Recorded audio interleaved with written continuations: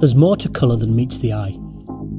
Ever wonder where the brilliant blue feathers of Steller's jay come from, or the metallic blue wings of morpho butterflies? These so called structural colours arise when visible light interacts with nanostructured materials having short or long range order.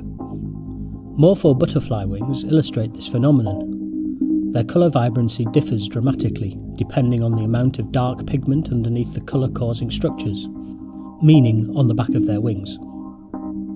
Researchers are interested in mimicking these optical phenomena found in nature for pigments and dyes.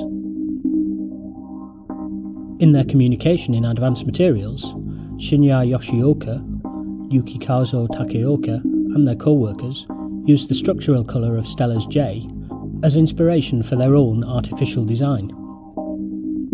They produced amorphous arrays of submicrometer sized, fine, spherical, silica colloidal nanoparticles using a layer by layer method. The negatively charged silica layers were bound together by positively charged polydiallyl dimethyl ammonium chloride, or PDDA, and absorbed a carbon black containing quartz plates. Scanning electron microscopy revealed a homogeneous colloidal amorphous array with short range order. As the thickness of the array was increased up to 15 layering cycles, the colour was much more vibrant for silica particles aggregated on black plates than on transparent plates. When the thickness of the silica layer is increased, the colour becomes less saturated and appears white. They also demonstrated that the material exhibited the same colour, independent of the angle of observation, which is also the case for the Steller's jay.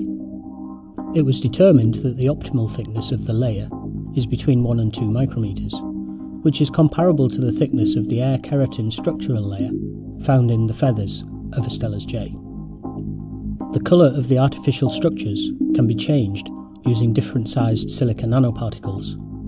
For example, particles with a 260 nanometer diameter appear green, and those with a 300 nanometer diameter are red purple.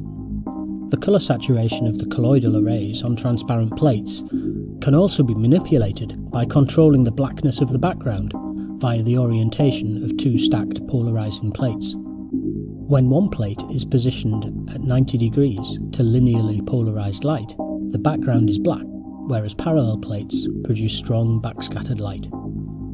To find out more, please visit the Advanced Materials homepage.